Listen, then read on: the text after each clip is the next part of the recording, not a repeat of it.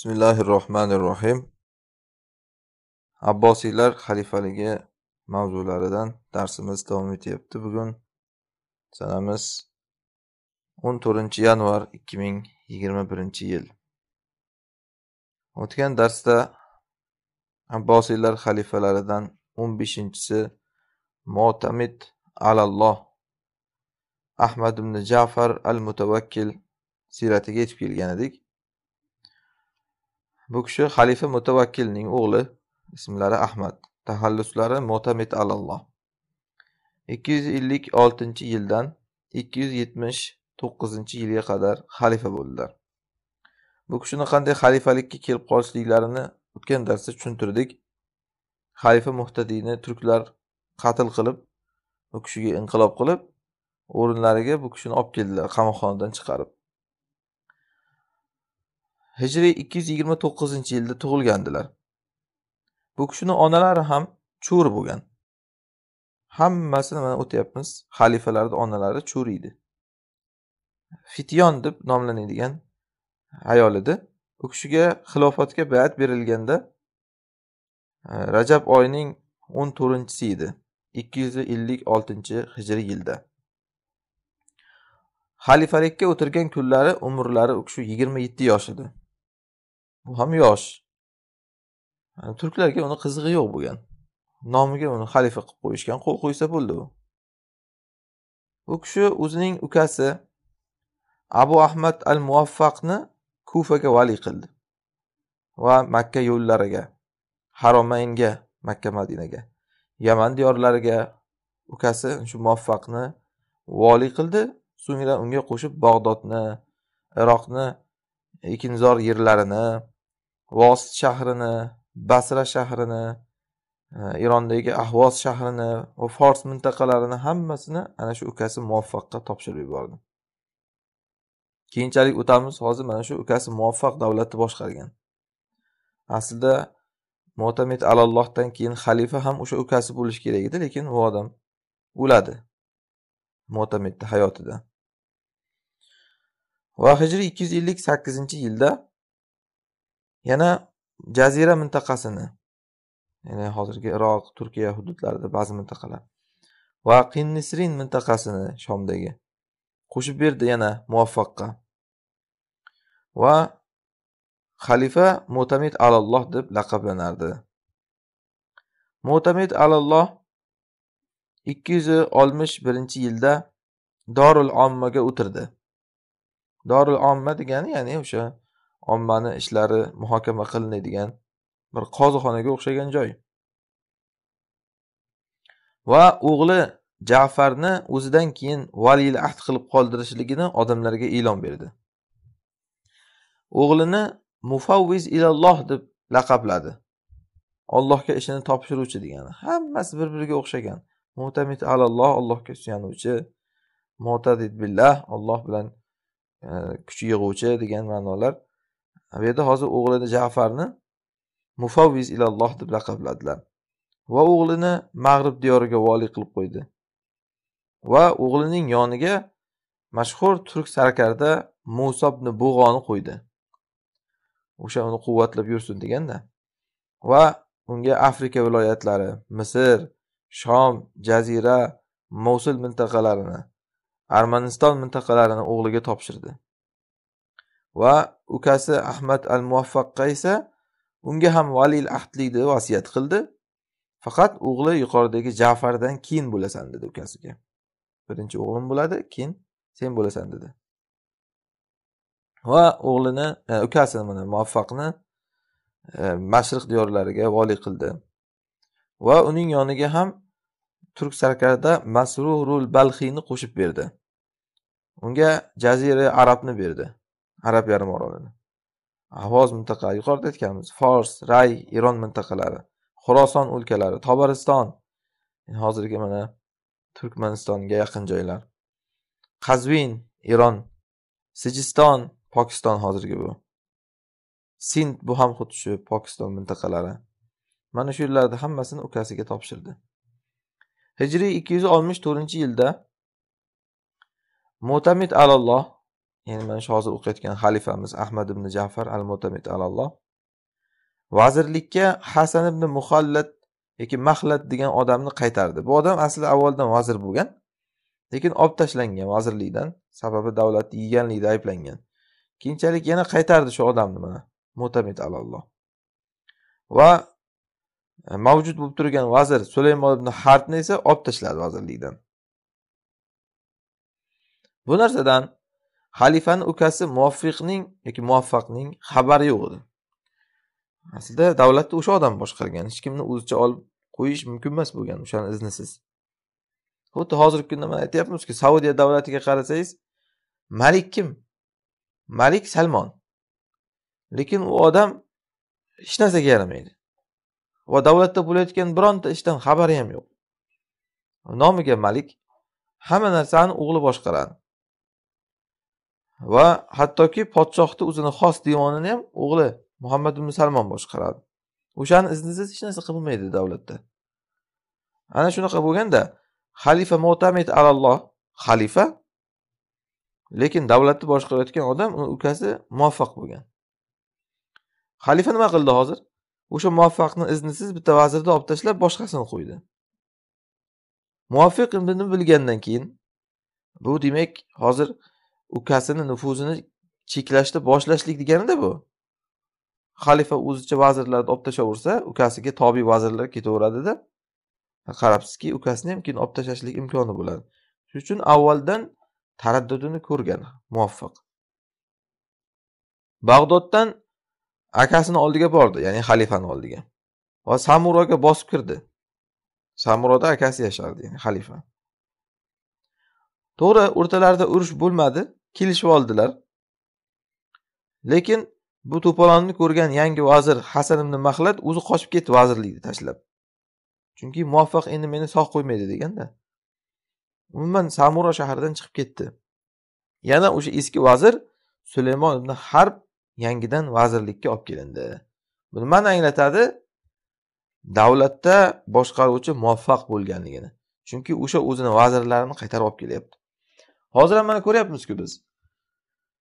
Nima uchun bizni o'lkalarda bitta hokim olib tashlanyaptida bir qahramonlik qilinib keyin yana qaytarib olib kelinib kerak bo'lsa avvalgidan yuqoriroq bir mansabga qo'yilyapti. Bu nimani anglatadi. Siz aytishingiz mumkin uyalmayaptimi hozir prezidentlar mana shunaqa paytda shunday qilgani? Olib kelyapti olib tashlayaptida yana qaytarib olib kelyapti bu degani davlatni prezident boshqarmayapti degani. Davlatdan shu ichki ishlar deydi xavfsizlik deyilinadi o'shalar boshqaryapti. Shuning uchun ular e, prezident nigohida qahramonlik qilib ba'zi odamni olib tashlasa begona aytibsan deganday qiladida yana o'sha odamni qayta olib kelib qo'yishadi. Kerak bo'lsa undan kattaroq mansabga o'tkazib qo'yishadi. Keyin endi bu narsada taxtidan qo'rqqan prezident ham keyin unga bo'ysunadi. Mana shunaqa bo'lib e, nufuzlar bir bir odamni qo'lida bo'lmaydi davlatda ya'ni boshqarish. Shunday qilib mana eski vazir o'sha davlatni yeydigan sulaymon harb degani ham yana qaytib keldi vazirlikka. Mana shunday ittifoqqa qaramasdan aka uka o'rtasida mo'tamid alalloh baribir xayolida ukasi unga bosim o'tkazayotganini his qilib yashardi deyapti tabiiyda yana mana bitta vazirni ololmayapti xalifa. Ukasi muvaffaq unga bosim o'tkazardi. Shuning uchun ham misrga qochib ketishni istadi xalifa. Misrda nima qiladi? Misrda tuloniylar davlati bor edi. Bu odam tuloniylar boshlig'i abbosiylarga xayrixoh bo'lgan. Xalifa mo'tamid alalloh o'shani boshlig'i bilan kelishgan. Men seni oldingga boraman. Ukam meni xalifaligimga qo'ymayapti. Hamma narsani egallab oldi muvaffaq. Sen meni tarafdorim bo'lgin birlashaylik shu ukamni nufuzini qisqartiraylik deganda o'sha tuloniylar boshlig'i rozi bo'lgan bu narsaga. Meni oldimga keling misrga. Men sizga boshpana beraman. O'sha yerda ikkalamiz birlashamiz degan. Maqsadi nima edi xalifani bundan? Misrga borib ukasini xo'jayinchiligidan qutulish edi. O'zini haqiqiy xilofatini qurish edi maqsadi. Lekin bu muvaffaq ham ertagida ilon qimirlasa sezib yuradigan odam bo'lgan. Hamma narsani akasi xalifani kuzattirib yurgan. Mana buni bilib qoldi. Akasi misrga ketmoqchiligini. Ya'ni xalifa misrga borib boshpana topmoqchi. Va shunda iroqdagi mosul shahrini noibiga buyurgan muvaffaq. Ishoq ibn kindaj degan odamga. Mo'tamidni bu ahmoqona fikridan qaytar nima qilib bo'lsa ham sen degan. Ya'ni misrga bormasin degan. Chunki misrga borsa e, misrdagi mana hokim bilan birlashib muvaffaqqa qarshi bo'ladida. Va u odam mosul amiri mana shu ishni eplay oldi haqiqatdan ham. Yo'lda xalifani oldiga chiqqan uni avrab aldab suldab orqaga qaytarishga muvaffaq bo'lgan misrga bormagan. Keyin xalifa mana bu odamni mukofotlab mana shu iroq amirini mosul amirini katta mintaqalarni unga topshirgan. Mana bu ham bildiradiki muvaffaq qay darajada kuchayganligini. Chunki e, viloyat hokimlari xalifaga emas unga bo'ysunyapti. Shu darajaga bordiki oxir oxiri xalifa mo'tamid alallohni ukasi muvaffaq bilan uni ishlari shu darajaga bordiki uni qo'lida hech narsa qolmadi xalifani qo'lida. Hattoki xalifa mo'tamid alalloh ba'zi kunlar ukasidan pul so'rab yurardi. Pul bermasdi hattoki. Xalifani puli yo'q qarang. Uch yuz dinor so'rab yurdi bir kuni. Lekin unga yetib kelmadi. O'sha ukasi muvaffaqdan pul kelmagan oylik kelmay qo'ygan hattoki xalifaga ya'ni. Nima edi xalifa desa quruqqa yastanib o'tiradi qo'lida peshat bor uni. Hech narsa uniki emas. Ana shunda arablarni bir shoirlari shu holatni bir sifatlab aytishgan. ومن العجائب في الخلافة أن ترى ما قل ممتنعا عليه وتؤخذ الدنيا باسمه جميعا وما ذاك شيء في يديه إليه تحمل الأموال طرا ويمنع بعض ما يجبى إليه eng ajoyibu g'aroyib narsalardan biri bizda xilofatda degan ozgina narsani ko'rasiz xalifaga berilmaydi o'sha uch yuz dinor endi xalifalarga hech qancha pul bo'lmaganda ular million dinordan gaplashgan. Xalifaga uch yuz dinor berilmaydi. Butun dunyo uning ismi bilan olinadi. Va lekin biror narsasi uni o'zini qo'lida emas. Ya'ni butun dunyo xalifani ismi bilan ha xalifani nomidan pechat qo'yiladi xalifani nomidan kirimlar chiqimlar katta katta savdo sotiqlar hatto sulhlar jihodlar g'animatlar hammasi xalifani nomidan qilinadi. Biron narsa lekin uni o'zini qo'lida emas o'zimizda aytgandek haligi nomi urug' surpasi quruq. Hamma mollar shunday xalifani oldiga olib kelinadi lekin uning ba'zi qismi ham unga berilmaydi deb shunaqa qilib xilofatda shu ahvolga kelib qolganligini shikoyat qilib she'r aytgan ekan shoirlar. Va aslida xalifa yomonlik ham qilmadi qarang bu muvaffaqqa. Aksincha unga yaxshilik qildi. E, men o'lsam o'g'lim o'g'lim o'lsa sen xalifa bo'lasan dedi. Lekin shunga qaramasdan muvaffaq baribir e, xalifaga ana shunaqangi bir cheklovlar qo'yib tashlagan. Buni ham endi sababi bor albatta. Qars ikki qo'ldan chiqmaydi deyiladi. Xalifa mo'tamid alallohni ham o'zini aybi bu. Chunki u kishi o'yin kulgusidan bo'shamagan deyilgan. Davlat uchun jon kuydirmagan. Mana muvaffaq bo'lsa yilib yugurib urush qilib davlatga qarshi chiqqanlarni bosib mana zinjiylar qo'zg'oloni dediku o'tgan darsda qoralar qo'zg'oloni o'shalarda ham mana shu muvaffaq bosib beradi. O'n to'rt yil davom etgan qo'zg'olonni ana shunaqangi ishlarni qilganligi uchun odamlar muvaffaqni yaxshi ko'rib qolgan. Xalifani esa yomon ko'rishgan. U o'yin kulgisidan bo'shamaydi deb. Tabiiyda odam odamlarda shunaqangi e'tiborini jalb qilmoqchi bo'lsa odamlarga xizmat qilish kerak. Mana ana shu muvaffaq zinjiylarni boshlig'ini o'ldirib ularni boshlig'ini kallasini nayzaga tiqib e, nimaga kirib kelganda? Bag'dodga samuro shahriga kirib kelganda. Odamlar ustidan uni tilla sochib kutib olgan muvaffaqni chunki haqiqatdan odamlarga zulm qilganda aytdiku u qoravoylar bir millionga yaqin musulmon o'ldirib yuborgan deyilgan. Yuz minglagan qizlarni zo'rlashgan. Muslima qizlarni. Ali roziyallohu anhu zurriyotdan qanchasini zo'rlab ular e, cho'ri qilib olgan? Mol mulklarini odamlar talon toroj qilgan. Shuncha jabr ko'rilingan odamlarni boshlig'ini kallasini olib xalqni oldiga tashlagan odamni albatta xalq yaxshi ko'radida xalifa bo'lsa u o'zini otini choptirib maishatini qilib yurishdan boshqa narsani bilmagan. Ammo bu kishiga muvaffaqqa baribir xalifa bo'lish nasib qilmadi. Ikki yuz yetmish sakkizinchi yilda o'ldi bu odam. Xalifani ukasi ana shu muvaffaq. Undan olti oylik kichkina deyilinadi ya'ni xalifadan. Va lekin uning o'g'liga bayat berildi. Abul abbos ahmad ibn muvaffaqqa valil ahd qilindi uni. Xalifa mo'tazidning ismi bilan ya'ni o'zini roziligi bilan. Va xalifa o'zining o'g'li jafar al mufavviz ilalloh deganini valil ahdlikdan olib tashladi. O'zi aslida birinchi vasiyatida nima degandi xalifa? Mendan keyin o'g'lim mufavviz ilalloh bo'ladi degandi. Undan keyin muvaffaq bo'ladi degandi. Lekin muvaffaq o'lib qoldi xalifani hayotidayoq keyin o'g'li bo'lishi kerakmi? O'g'lini ham qilmayaptida muvaffaqni o'g'lini qilyapti. Sababi askariylar turklar ya'ni muvaffaq va uning o'g'lini quvvatlarida. Aytdiku xalifani o'ziga uch yuz dinor berilmagan o'g'lini qanaqa qilib valiyil ahd qila oladi xalifa endi.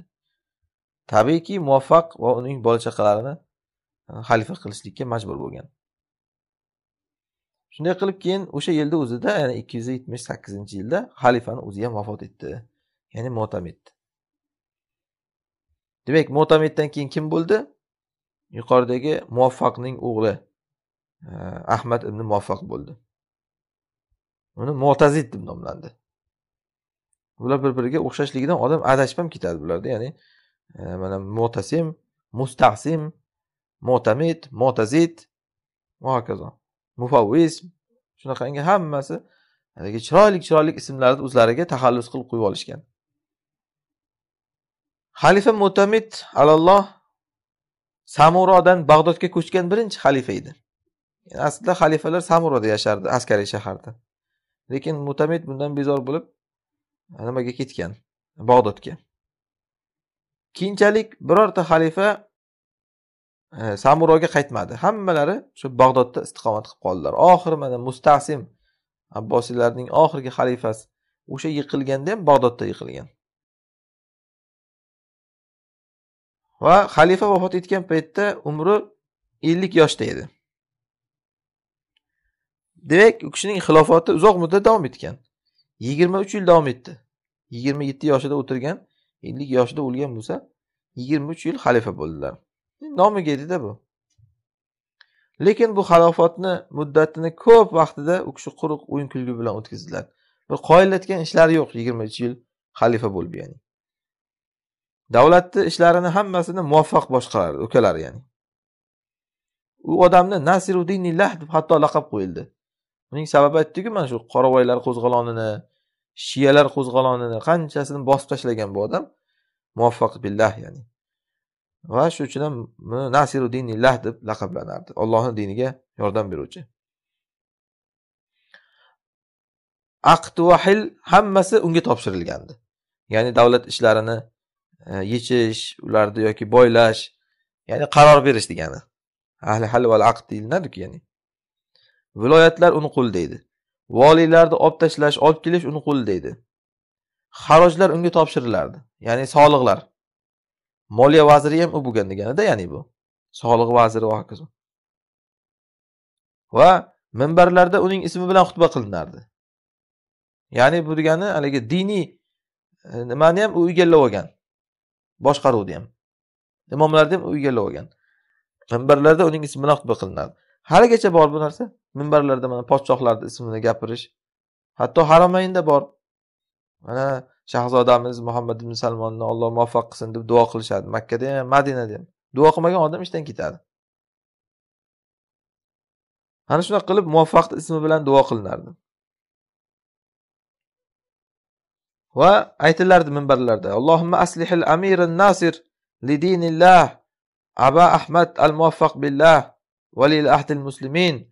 Aho amiril mo'minin deb duolar qilinardi. Allohim amirimiz nosirli dinillah allohni diniga yordam beruvchi abu ahmad muvaffaq billahni o'zing isloh qil musulmonlarning valil ahdini va amiril mo'mininning ukasini deb duo qilinardi. Lekin baribir insof bo'lgan ekan o'sha zamonni saroy mullalarida ham qarang. Ollohim isloh qil deb duo qilgan ekan. E bu kishini bilasanmi sen? Olloh nazari tushgan odam demagan ekan baribir ham qarang. Endi to'g'ri bo'lgan bo'lsa ham kam bo'lgan unaqalar hozir olloh isloh qilsin ham deb bo'lmaydi. Olloh isloh qilsin desangiz ha fosiq demoqchimisan deydi birdaniga. Umuman ozgina bo'lsada uni bir e, sha'nini yerga urayotgan qilib ham duo qilmaydi. Faqat laganbardorlik qilib duo qilish kerak. Alloh u kishini masalan bundan darajalarini oliy qilsin. E, va alloh u kishiga e, shunaqangi fazlini yoysin degan shu laganbardorlik duolardagina qilish kerak. Saudiyada mana salmon avda degan shayx qamalib ketdi necha yilga deb. Nimaga qamaldi shu odam? Tushi uchun qamaldi. Tushida rasululloh sollallohu alayhi vasallamni ko'rganlar aytib beruvdikku avvalam kishini rasululloh sollallohu alayhi vasallam u kishiga menga bir joy tayinla makkadan deganlar. U kishi aytganlarki salmon avda tushlarida ya'ni. Ya rasululloh hozir xavfsizlik xizmatlari degan narsalar kuchlik. Qanday sizga joy tayyorlayman dedim men. Degan gaplarini turib tushlarini aytib berdilar u salmon avda va ta'bir qilib berdilar. Tushlari aytdilarki rasululloh menga joy tayyorladiganliklari inshaalloh bir e, yaxshilikni alomati bu? Ya'ni mahdiy chiqishligiga ishora qildilar. Rasululloh sollallohu alayhi vasallam kelmaydilarku chunki hozir dunyoga qaytib mahdiy keladi. Ana shu gap uchun qamalib ketdi salmon avda tushi uchun qarang. Nimaga sen xavfsizlik xizmatlari degan narsalar bor deding? deb qamab yuborishdi mana shu darajada zulm mana.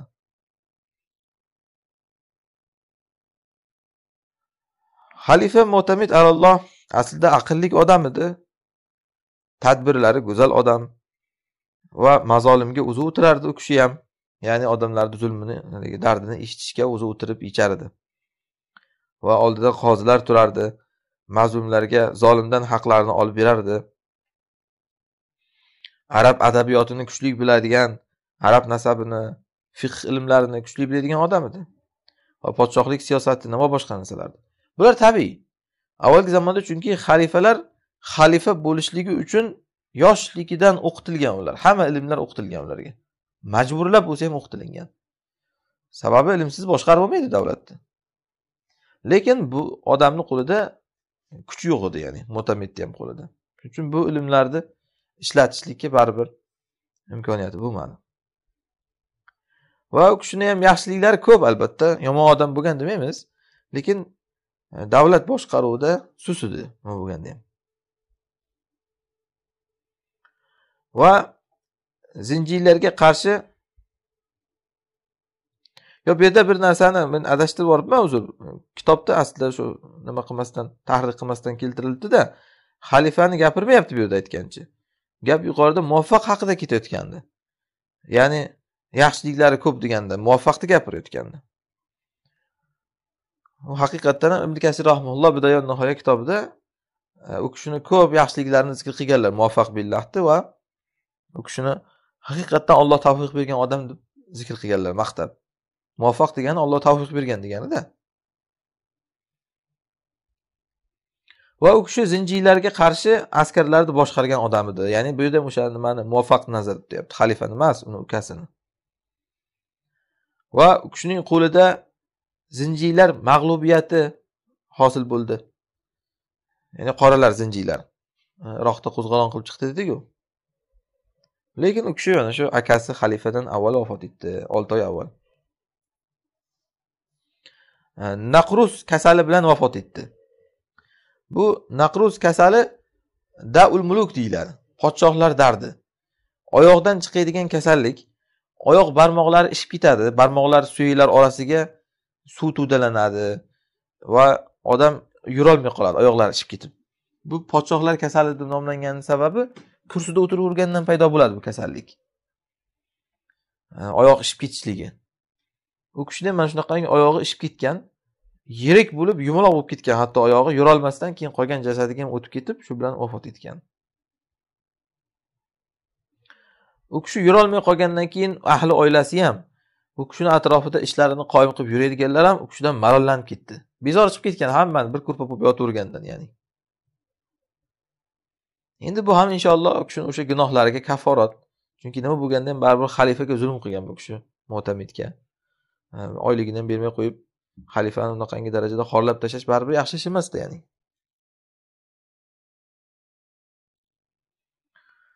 Va xalifa mo'tamid alalloh zamonida ko'p qo'zg'olonlar chiqdi. Rum g'azotlari musulmonlarga ko'payib ketdi. Sababi xalifa mana shunaqa o'yin kulgisidan bo'shamayotganligini ular ham bilgan rumliklar ham. Fursatdan foydalanib musulmonlarga hujum qilardi. Va yangi yangi imoratlar chiqdi yana. Masalan biz shu paytgacha o'tib kelyapmiz. Afrika davlatida o'zi besh oltita imorat bor edi. Umaviylar ag'labiylar idrisiylar safariylar iboziylar va hokazo. O'shanga qo'shilib yana yangi yangi davlatchalar chiqdi. Va askariy qo'mondonlar tajovuzi yanada ortib ketdi. Turklarni ya'ni lekin muvaffaq ishlarni o'z qo'liga olgandan keyin ana shu ozroq davlat tuzaldi. Aks holda abbosiylar mana shu mo'tamid zamonidayoq yiqilib ketar edi. Yo yana xalifa o'zgarishi kerak bo'lardi. Lekin ishni alhamdulillah muvaffaq qo'lga olgandan keyin alloh tavfiq berdi. Haqiqatdan ham davlatni ushlab qolgan yiqilib ketishligidan. Chunki hozir ishora qilingan yuqoridagi afrikadagi besh oltita davlatga qo'shimcha yangi davlatlar chiqdi deyapmiz. Masalan ismoiliylar chiqqan.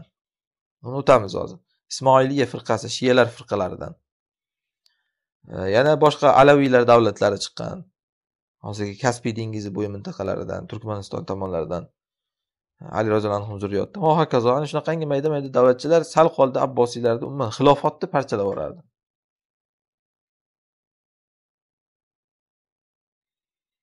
ana endi hozir ana shu harakatlarga qisman kirishamiz. Kufada ali ibn zayd tolibiy degani chiqdi. Tolibiy degandan bilaveringki ahli bayt xalifa bo'lishi kerak deganlardan bu kishi. Ya'ni ali roziyallohu anhuni hasan husaynni zurriyotlaridan bo'ladi bular. Xalifa ularga bir qo'shin jo'natdi. Lekin xalifaning askarlari mag'lub bo'ldi va ko'plari qatl bo'ldi. Amirgina qutulib qoldi xalifani askarlarini. Va ali ibn zayd bundan keyin yanada kuchayib ray shahriga kirishlikka muvaffaq bo'ldi. Yani hozirgi eronga va yana muhammad ibn vosil ibn ibrohim tamimiy degani chiqdi fors diyoridan. Fors diyoriga g'olib bo'ldi. Ya'ni hozirgi eron mintaqalarini egallab oldi. Lekin ikki yuz ellik sakkizinchi yilda orqaga chekindi bu odam. Xalifani toatiga yana qaytdi. Va xalifaga xarojni olib borib berishlikni boshladi yana.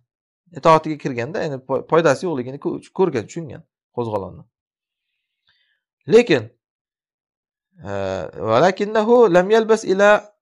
lam yalbas an ada ila yana xalifaga qarshi chiqishlikni boshladi keyin. Xalifani toatidan voz kechdi ikki yuz oltmish birinchi yilda. Oxiri keyin mag'lub bo'ldi. Yaqub ibn lays as soffar degan kishining qarshisida. So'ngra uning oldidan forsga forsdan qochib ketdi. Hijriy ikki yuz oltmish ikkinchi yilda.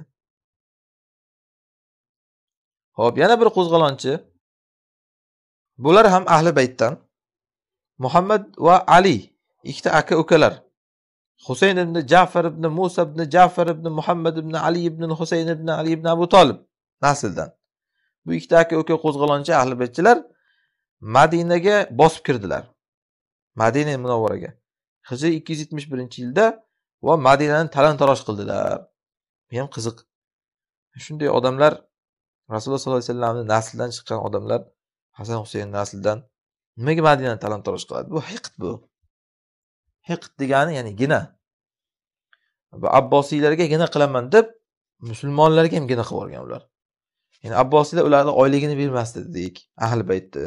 Qamagan urgan so'kkan alamini ular ana shu odamlardan olgan. Kirib talon taroj qilgan madinani deyilyapti va yana iso ibn shayx degani chiqdi qo'zg'olonchi damashq yaqinida. Lekin bu ham e, amajur degan qo'mondon qarshisida ya'ni abbosiylar qo'mondonlaridan mag'lub bo'ldi. Va lekin xalifa undan keyin rozi bo'ldi baribir qo'zg'olon qilganiga qaramasdan. Ya'ni iso ibn shayxdan rozi bo'ldi. Va uni armanistonga noib qilib qo'ydi.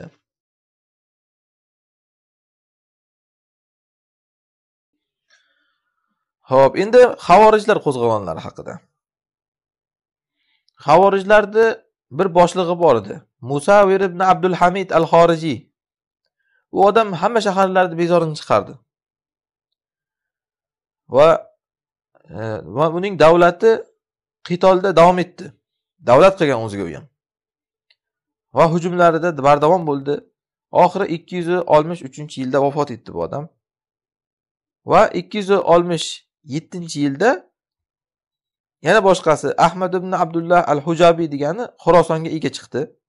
Karmon sijiston mintaqalariga. Hatto o'z ismi bilan pul chop qila boshladi. Ya'ni dinor dirhamlar ishlab chiqara boshlagan. O'zicha davlat qilganda mana. Ammo o'sha yilning o'zidayoq uning askarlarini biri uni o'ldirdi. Shu bilan musulmonlar bulardan xalos bo'ldi. Havorijlarga havorijlar inqilob qilgan ya'ni. Shuningdek havorijlar hirot shahriga ham egalik qilib oldilar. Hirot hozir turkmaniston hududidami adashmasam shu turkmanistonda bo'lsa kerak.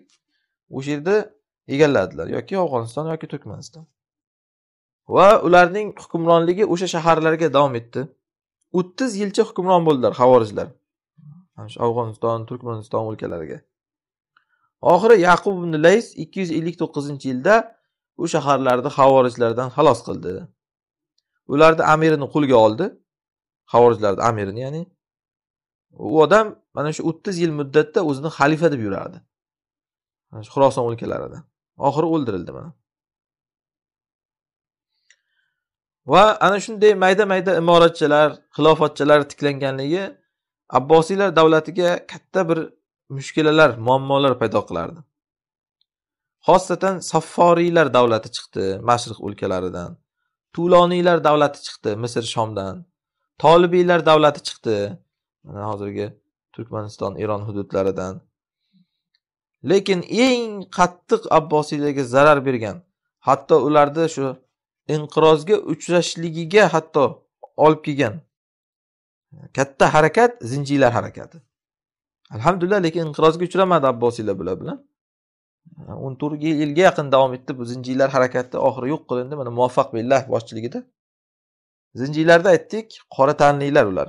Afrikadan qul qilib olib kelingan va ularga noislomiy muomalalar qilingan.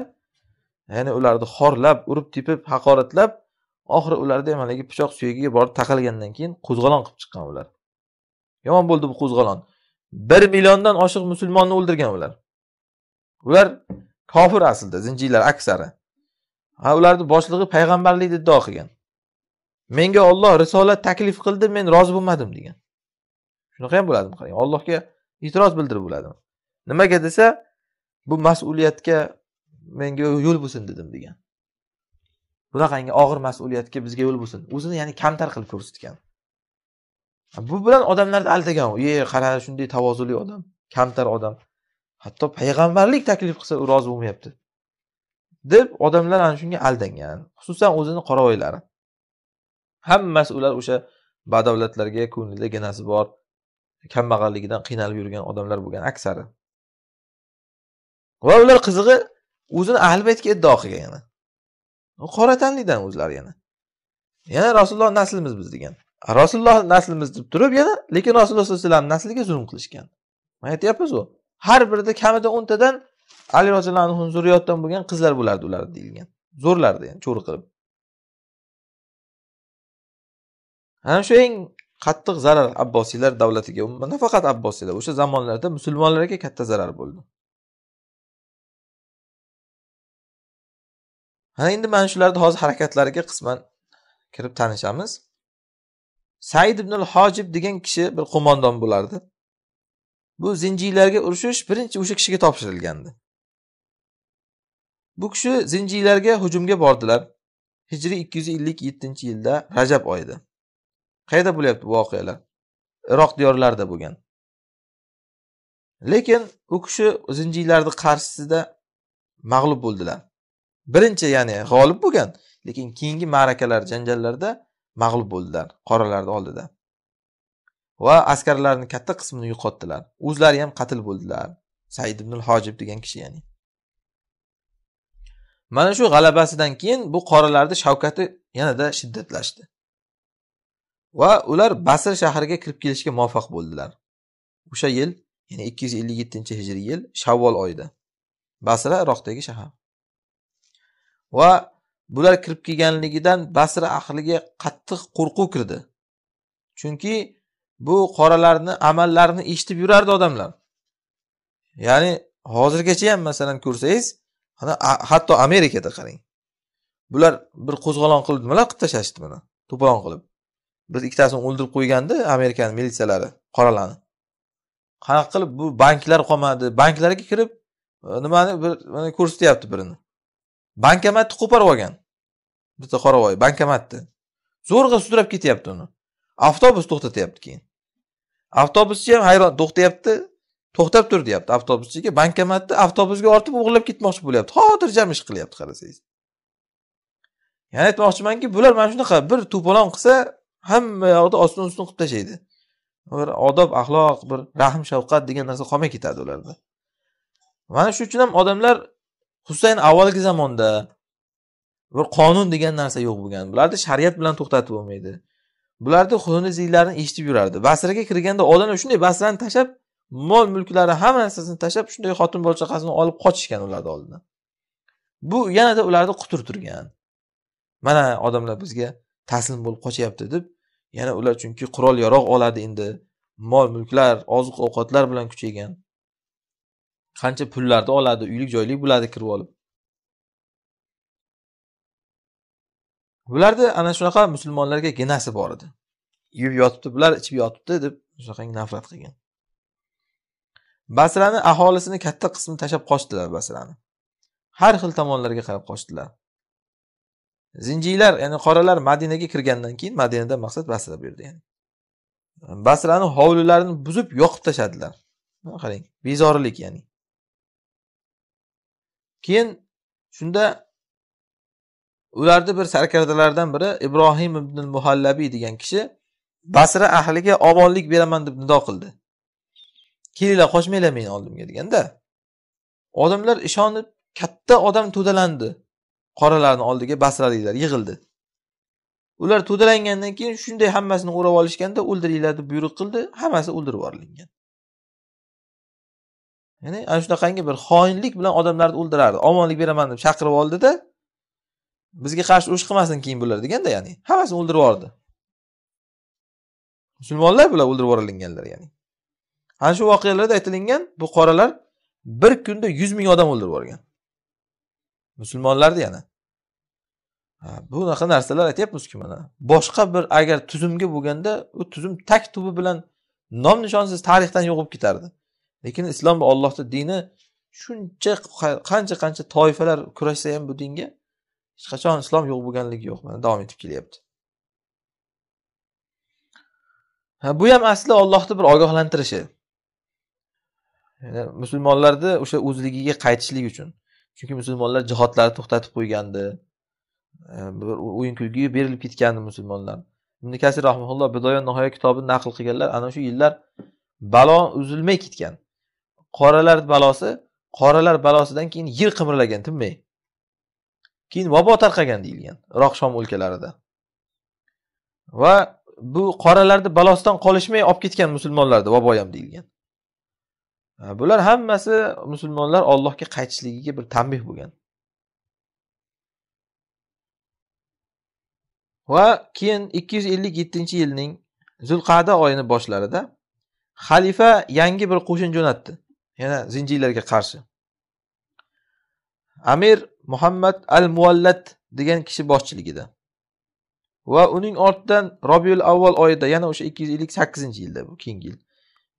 Yana bir askar jo'natdi. Endi oxiri ukasi muvaffaq boshchiligida ana yuqorida aytilingan shaxs davlatni boshqarardi dediku. Muvaffaq boshchiligida oxiri ukasini jo'natdi xalifa. Va yana u bilan birga muvaffaq bilan mashhur qo'mondon muflih ham bor edi. Ammo muflih qatl bo'ldi bu qoralarni qarshisida. Shuningdek zinjiylarni qo'mondonlaridan biri ham asir olindi. Yahya ibn muhammad al bahroniy degani. Bularni ismlariga qarasangiz islomiy ismlar hammasi. Ha bu hech qanaqa narsani musulmonchilikni lekin bildirmaydi ismi islomiy ekanligi. Muhammad ismi boshqa. Mana misrga boring ko'rasiz. Xristianlar muhammad ahmad ismini qo'yadi. Ba'zi hozir chalasavod odamlar um, suriyada musulmon bilan musulmon urushib yotibdi deydi. Qayerdan bilding musulmon bilan musulmon urushib yotganini desangiz unisiga qarasang ahmad bunisiga qarasang muhammad deydi. Ahmad muhammad bo'lsa musulmon bo'laveradimi?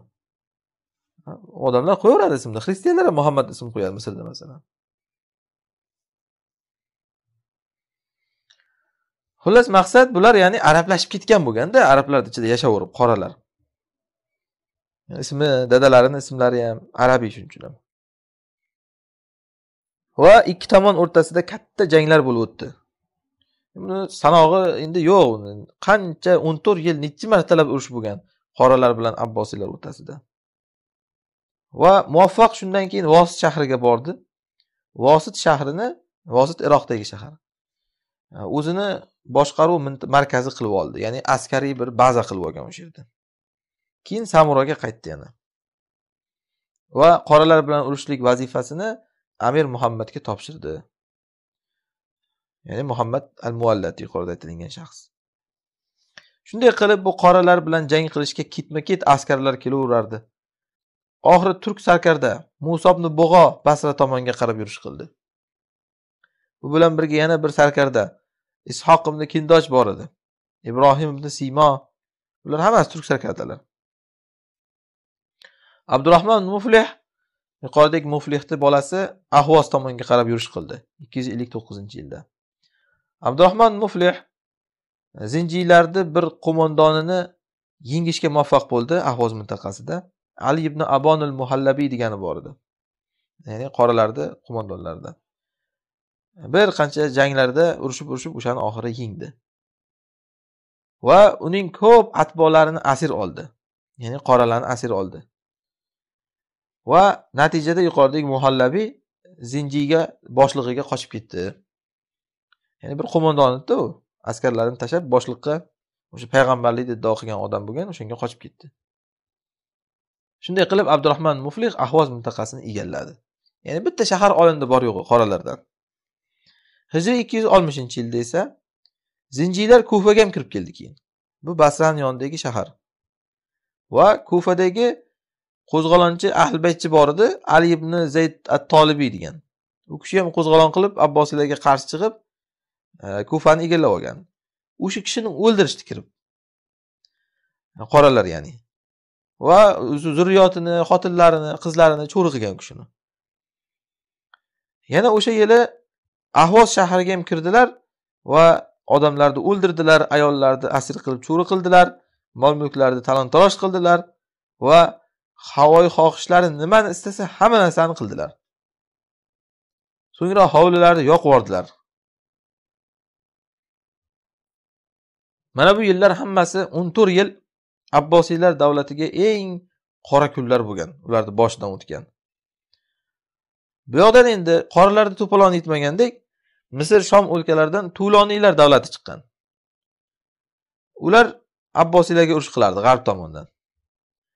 Endi bu yoqdan sharq tomondan mana bizda hozirgi o'lkalar tomondan safforiylar davlati chiqqan. Bu yoqdan rum tomondan e, e, shimoliy tomondan rum g'azot qilardi abbosiylar davlatiga. Hamma tomondan haligi yirtqichlar tovuqni o'ljani talaganidek abbosiylar davlatini hamma tomondan ana shunaqangi davlatchilar talardi. Sabab bu xalifalar yoki o'sha davlatni boshqarayotgan odamlar o'zlari zolim bo'lganligidan. Alloh zolimni ustiga mana shunday zolimni tashlaymiz degan. Hamma yoqda iroq shimoliy janubiy tomonlarida e, xosatan janubiy tomonlarida. Bu qoralarni ishlari sababdan e, pastkashliklari sababdan odamlarni ichida qo'rquv tarqagandi. Mana shunda oxiri keyin buni ko'rgan haligi valil ahd muvaffaq muvaffaq billah xalifani ukasi jiddiy kirishmasak bo'lmaydi degan va jiddiy bu davlatchilarga urush qilishga kirishdi keyin. Xalifa ot choptirib yuravergan o'yin qilib. Shuning uchun odamlar yomon ko'rgan yashab bo'lmay qoldi. Tinchlik yo'q na din yo'q na shariat bilan boshqarish odamlarni na bir qonun yo'q. Bittasi bo'lishi kerakda endi aslida. Odamzod bir omon yashalishligi uchun. Ikkalasi ham yo'q. Xalifani yomon ko'rib qolgan odamlar. Ana shunda muvaffaq ishga kirishgandan keyin muvaffaqni yaxshi ko'rishgan. Birinchi bo'lib muvaffaq soforiylar davlatidan urushni boshladi. Soforiylardan g'oz shahrini xalos qildi ikki yuz oltmish ikkinchi yilda. Lekin keyin zinjiylar kirib keldi u yerga safforiydan olsa qoralar endi bosib oldi. Sulaymon jomiy degani boshchiligida. Lekin abul abbos ibn muvaffaq muvaffaqning o'g'li ya'ni uni o'sha zinjiylardan ham qaytarishga muvaffaq bo'ldi. Ikki yuz oltmish yettinchi yilda. Keyin muvaffaq o'zi zinjiylarni boshlig'iga hujum qilishlikni reja qildi. O'sha payg'ambarlikda iddao qilgani. U o'zi bitta shahar qurib olgandi o'ziga. Uni al mania deb nomlardi shaharini. Ya'ni mumkin emas bo'lgan shahar degani. Yani hech kimsa uni ololmaydi degandek shu nom bilan nomlagan. Muvaffaq o'sha shaharga bosib kirdi. Va ko'p qoralarni o'ldirdi ko'plarini asir oldi va mania shahridan ko'p mollar g'animat qildi. Va o'sha shaharda qarang besh mingta musulmon ayol qoralarni qo'lida zo'rlanib cho'ri bo'lib yurgan ekan ana shularni qutqardi. Mana bu ish haqiqatdan ham xalqni muhabbatini qozonishiga sabab bo'ladida endi uni. Besh mingta musulmon ayol qarang qoralarni qo'lida asir bo'lgan. Asir bo'lganda ham tinchgina asir emas zo'rlab yotgan ular uni shuning uchun ham aytyapmiz bunaqa kunni ummat ko'rmagan ey ummat xor bo'lding go'r bo'lding deydigan odamlar sen ummatni nima kunlar ko'rganligini o'rganganmisan o'zi u bunaqangi kunlar hech narsa emas hozir bir mingta ikki mingta odam asir tushib qolgan bo'lsa ha unda ham hech kim zo'rlab ularni nomusini toptayotgani yo'q. Ha bo'lsa ham bitta ikkita bo'lyapti. Bu yengil qarash emas lekin ummat bunaqa kunni hech qachon ko'rmagan degan gaplar bu mubolag'a u. Besh mingta asir qarang ayollar. Yana bu ayollar ham e, qaydaki bir qalang qasong ayollar bo'lmagan. Aytyapmiz u eng toza nasl rasululloh sollallohu alayhi vasallam naslidan chiqqan ayollar bo'lgan aksari keyin muvaffaq? Zinjiyni boshlig'ini yana ikkinchi bir qurgan shahariga hujum qildi. Mansura degan shahar bor edi. U yerda haligi qo'mondon sulaymonni jomiy degani bor edi o'sha qoralarni qo'mondoni muvaffaq o'sha shaharga ham bosib kirishga muvaffaq bo'ldi. Qarang muvaffaq degan ismni muvaffaq bo'laveryapti. Ismda ko'p gap bor deymiz o'shuning uchun ham muvaffaq muvaffaq bo'lyapti. Va zinjiylarga urush qildilar. Qattiq janglar bo'lib o'tdi. Beshta devor bor edi shaharni qarshisida. Ya'ni ular qal'a qilib shaharini beshta devor qurib tashlagan qal'ani oldiga kirib bo'lmaydigan qilib. Va lekin kirib bosib kirdilar ana shu shaharlarga ham qal'alarga ham. Va u yerdan men qarang o'n mingta musulmon ayolni u ayollar hammasi bas basra ahlidan edi. Ya'ni arablar musulmon ayollar aksari ahli baytdan bo'lgan ularni o'n mingta musulmon ayolni qoralar qo'lidan qutqarishga muvaffaq bo'ldilar. Yuqorida besh mingtamidi bu yerda o'n mingta qarang. Endi bu hali tirik qolganlari bu. Haligi o'zini nomusini saqlayman deb tish tirnog'i bilan qarshi chiqqanini o'ldirib yuborgan qoralar. Ayollarni. Bu qo'rqqanidan taslim bo'lgan ayollar bu o'n besh mingta. Qolganlari o'lib ketganlari qancha ularni endi? Ana shuncha ayollar zo'rlab tashlagan bular. Va muvaffaq rahmaulloh keyin zinjiylarni qoralarni boshlig'ini haqqa qaytishga chaqirdi. Bo'ldi qil deganda mana hozir qulga tushasan baribir. Tinchlik bilan taslim bo'l dedi. Tavba qil qilgan ishlaringdan dedi. Senga omonlik beraman dedi. Va hamma qoralarga e'lon berdi. Kim qaytsa bizni safga itoatimizga o'ldirmaymiz uni degan. Omonlik unga. Va bu zinjiylar boshlig'i o'zicha iddao qilayotgan fe'llarini inkor qilib qoralarga tushuntirdi. Ya'ni u payg'ambarlikni iddao qilardi. Ya'ni o'zini ahli baytdan deb olgan u. Nimaga ahli baytni zo'rlab yotdi bo'lmasam va kim agar unamasa o'ldiramiz dedi.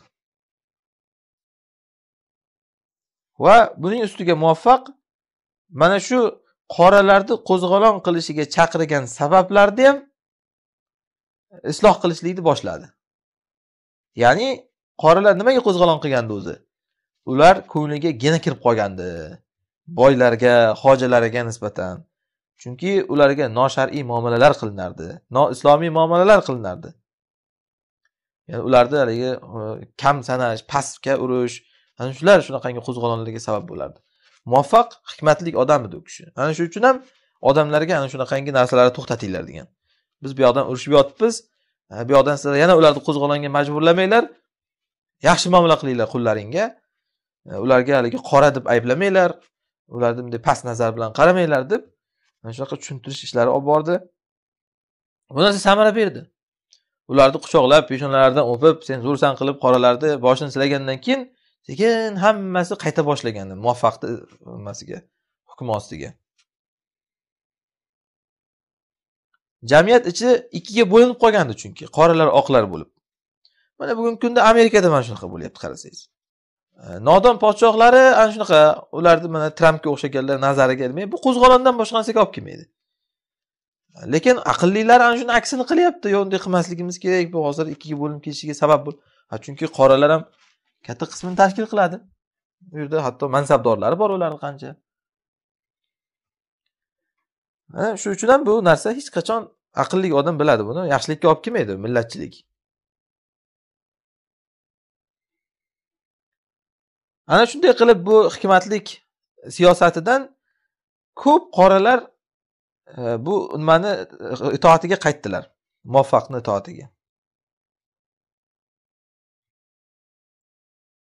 Va o'sha zinjiylarni boshlig'iga maktub jo'natdi muvaffaq. Tavbaga qayt dedi qilgan munkarlaring harom ishlaringdan tavba qil. Payg'ambarlikni davo qilishlikni to'xtat dedi.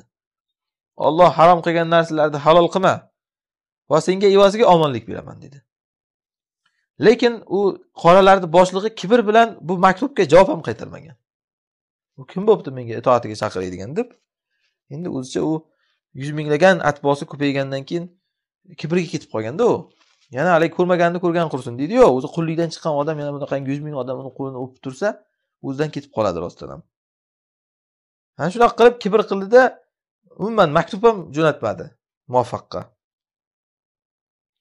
Muvaffaq buni o'ziga xiyonat va xorlash sanadi. Ya'ni bu bizni nazarga ilmayapti bu deganda. Va keyin hujumni boshladi. Tinchlikka ko'nmagandan keyin endi hujum qilamiz degan. Ellik ming askar tortib bordi qarang. Demak shuncha ko'p bo'lgan uni askarlari qoralarni. Rumga buncha askar tortib bormagan bular. Qoralarga shuncha askar tortib borilyapti. U qoralarni boshlig'i o'ziga yana bitta muxtora degan shahar qurib olgandi. O'sha shaharni qamalga oldi. Ellik ming askar bilan borib muvaffaq. Va o'g'li abul abbosni oldiga qo'ydi qarang. Farzandini ham aymagan jihod qil deyapti mana va kim o'sha shahardan chiqsa hammasini yer o'g'li. O'g'li ham o'ziga o'xshagan dovyurak sarkarda bo'lganda muvaffaqni o'g'li. O'zidan keyin xalifa qilinadida shunchadan mana buni. Buni qarang. Xalifalar o'zidan keyin o'g'li xalifa bo'lishini istashardida lekin mana bunaqangi qilib o'g'lini e, jonbozlik ko'rsatishligini xalqqa ko'rsatib berishmasdi. Demak odam o'zini o'g'lini xalifa bo'lishini istasa mana shunaqa ayamasligi kerak uni. Xalqqa ko'rsatish kerak u odam qahramonligini. Muvaffaq ana shunday qilardi mana o'g'lini jihodda birinchi safga qo'yardi. Tabiiyki odamlar keyin buni ko'rgandan keyin u odamni xalifaligiga rozi bo'lardi. Va o'sha qoralarni boshlig'i ismi bahbuz edi bu odamni o'sha payg'ambarlikni iddao qilgan e, rad qildim men payg'ambarlikni degan. O'sha qoralarni amirlarini kattasi edi. Keyin muvaffaq qoralarni askarlariga yana omonlik berib nido qildi. Haliyam kechmas degan qaysing omonligimizga kirsang tinch qo'yamiz dedi. Ko'plari omonlik talab qilib chiqdi. Qoralarni askarlari uni tashlab boshliqlarini muvaffaqni oldiga qo'shila boshladilar. Va o'zlarini boshliqlariga qarshi urusha boshladi qoralar asli uni yonida edi. Va ana ko'ryapsizmi urush ham aql bilan bo'lyapti ham axloq bilan ham e, jihod bilan ya'ni qurol bilan bo'lyapti. Faqat qurol bilan urush ish bermaydi mana hammasini ishga solyapti muvaffaq. Va keyin bu urush bir necha kun bo'lgan urush emas hozir bu. Bir necha yil bo'lgan urush. Muvaffaq yuqoridagi qoralarni muxtora shaharini ro'parasiga bitta shahar qurishlikni buyurdi. Sekin sekin qochishga imkon bo'lganda qochib chiqaversin uni atbolari meni oldimga degan. Shunday shaharini ro'parasidan bitta shahar qurdirdi. Va rizqlar olib keldi shaharga. Ya'ni katta katta mol mulklar yeb ichish ta'minotlar olib kelib shaharga o'sha chiqqan qoralarni boqqan. Va ular toki u yoqdagilarga borib sekin xabar qilsin. Va bu narsa samara berdi. Qochgan pisgan qoralar sekin bu yoqqa chiqib muxtora shaharidan e, muvaffaq qurgan shaharga kirib yeb ichib qon to'ygandan keyin kallasi joyiga tushib ularni sekin borib oshnalarini chaqirib kela boshlashgan. Va bu shaharni mana ikkita shaharni o'rtasida uzoq yillar urush davom etdi. Ikki yuz oltmish yettinchi yillar. Keyingi yilda musulmonlar keyin mana oxiri haligi muxtora shahariga ham zaiflashgandan keyin uni bosib kirishga musulmonlar muvaffaq bo'ldi. Lekin bu narsa muvaffaqni ra'yisiz bo'ldi. Ya'ni muvaffaq o'zi xabar qilmasdan musulmonlar o'zi jonga tegdi bular bosamiz deb bosib kirgan. Va shaharlarini haligi muxtora shaharlarini qoralarni o'rtasigacha kirib bordi musulmonlar. Lekin qoralarni pistirmalari ularni qarshi oldi. Pistirma qo'ygan bo'lgan ular. Musulmonlar uni bilmasdi. Natijada musulmonlar qochishga majbur bo'ldilar. Mana amirni izinsiz ish qilgandan keyin qarang baribir odam qovun tushiradi. Amirdan bir og'iz maslahat kerak edi o'shani bilardi u pistirma qo'yish mumkinligini. Va abul abbos abul abbos bu o'sha muvaffaqni o'g'li. Musulmonlar bilan bosib kirgan dadasidan so'ramasdan qoralarni muxtora shahariga keyin bir jamoat arobiylarni qo'lga oldi u kishi yo'lda. Ular taom va oziq ovqatlar olib kelayotgan ekan qoralarga. O'shalarni ushlab o'ldirdi. Ya'ni ulardan ta'minotni qilishyapti qarang mana shahar qurilganligini yana bitta siri qoralarga qamalga olib o'tirilibdiyu.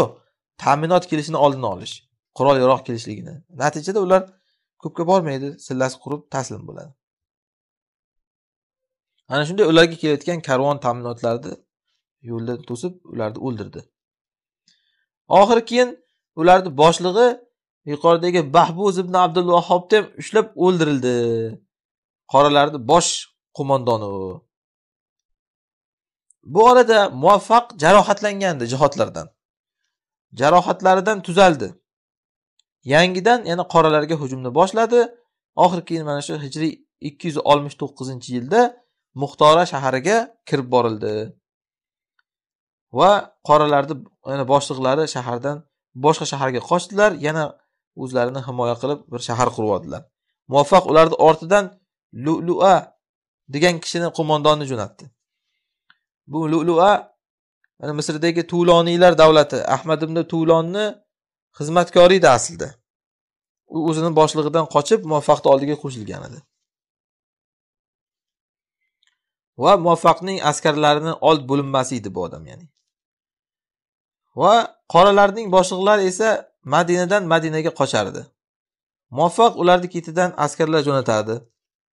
Oxiri qoralarni boshlig'ini kallasi uzib muvaffaqni oldiga olib kelindi. Va ularni yana qo'mondonlaridan mashhur qo'mondon sulaymon jomiyni ham asir qilib olib kelindi. Muvaffaq keyin muvaffaqiya degan shahariga qaytib bordi. Muvaffaqiya shahari bu yuqoridagi muxtora shaharini yoniga qurdirgan shahari. O'zini ismiga atab qurdirganda. Keyin muvaffaqning oldiga zinjiylarni boshlig'ini o'g'li inkiloy degani olib kelindi. Va ali ibn abonil muhallabiy degan bosh sarkardalari bu ham qoralarni. Asir qilib olib kelindi ikkalasi ham. Ana shu bilan oxiri zinji harakati nihoyasiga yetdi. Bu harakat o'n to'rt yildan ko'p davom etdi. Hijriy ikki yuz ellik beshinchi yildan ikki yuz yetmishinchi yilga qadar. Oxiri mana muvaffaqni e, qo'lida ollohni izni bilan ollohni tavfiqi bilan muvaffaqqa ana shu qo'zg'olon tugadi. E, keyin mana shu zinjiylarni kallasini nayzaga suqib shaharga kirib kelgan. Bog'dod shahriga samuro shahriga. Odamlar keyin buni ko'rib muvaffaqni juda e'zozlab boshiga ko'tarishib keyin mana uni xalifa qilishlikka ham rozi bo'lishgan lekin muvaffaq ko'p o'tmay shundan keyin vafot etadi. Uni o'g'lini keyin mana sarkarda abu abbos ahmad ibn muvaffaq ana o'shani keyin xalifa qilishadi odamlar. Turklar asosan askarlar boshchiligida. Lekin keyinchalik zinjiylarni yana qolgan qutganlarni bir qo'zg'olon qilishga urinib ko'rdilar.